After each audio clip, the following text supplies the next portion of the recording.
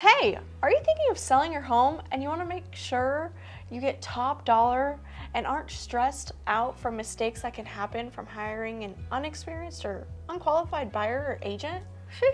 Well, and by that we mean someone who believes that the only option that they can offer you as a seller is to cut their commission rather than adding value and knowledge to the approach to get top dollar for your home. Well, then this video series for you. Watch one or all. We will inform you of all the secrets, hacks, and tricks that top producing agents don't tell their competitors.